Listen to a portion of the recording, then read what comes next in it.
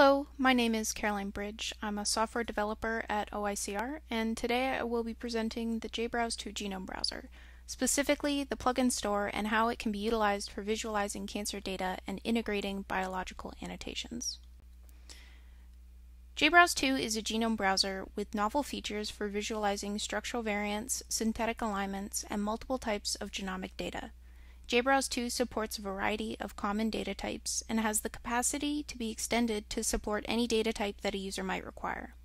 JBrowse 2 has been designed with a plugin framework that allows developers to extend existing JBrowse components and implement completely custom new ones. One of the most central components to the JBrowse 2 infrastructure are views. Views are easily built upon and added to JBrowse 2 through the plugin interface. What typically distinguishes a view is a novel representation of data.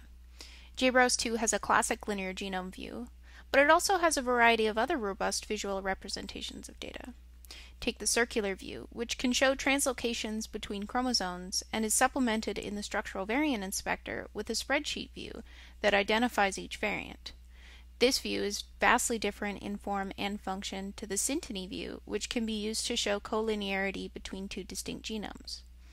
What's exciting about JBrowse and its support for plugins is not only does it have all of these views, but it easily supports third-party developers designing and installing their own plugins. If you're a developer, you can make your own custom view type. To facilitate community contributions to JBrowse 2 through plugins, we developed the Plugin Store. The Plugin Store is a one-stop shop interface for all plugins published with JBrowse 2, which readily exposes these rich feature sets to users with a searchable and comprehensive interface. A JBrowse 2 plugin registered with the Plugin Store can be added to a JBrowse instance with the click of the Install button on both web and desktop instances of JBrowse 2 all users, not just admins, can add and remove plugins freely from their session to explore and experiment with a variety of tools. We can see here that once we click Install on the MSA View plugin, we're given access to a brand new view that our plugin has made accessible through JBrowse 2's menuing. We're easily able to remove it should we wish through this interface on the plugin store.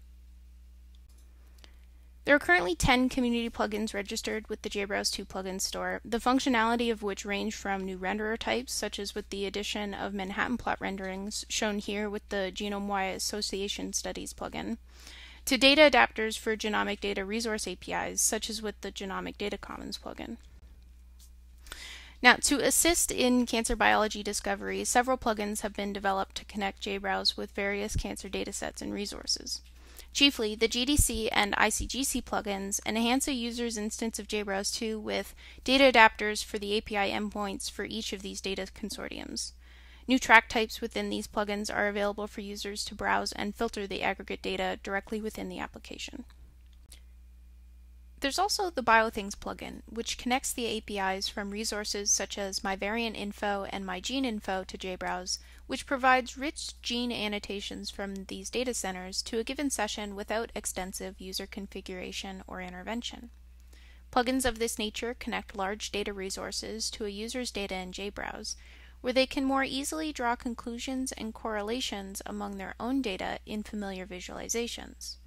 Contributions such as these directly connect interesting and useful tools that exist within the bioinformatics and molecular biology communities. Also deployed in the past year are plugins for integration with Reactome pathway analysis and an ideogram view. Both plugins provide an instance of JBrowse with new views that reuse existing third-party JavaScript components to fetch and display data directly within JBrowse 2 the Reactome plugin using Reactome's Diagram.js, and the Ideogram plugin using eWeitz' Ideogram.js. Utilizing these plugins, biologists can provide an HGNC formatted list of genes of interest, and have Reactome fetch and display the pathway analysis directly inside JBrowse, alongside a table representation of the same information. The gene list can also be annotated on the ideogram view resulting in three data-rich representations of relevant information derived from Reactome. Because these views are embedded within JBrowse, all the retrieved data can be synergized with JBrowse components and, for example, can navigate to a given feature's location on a linear genome view.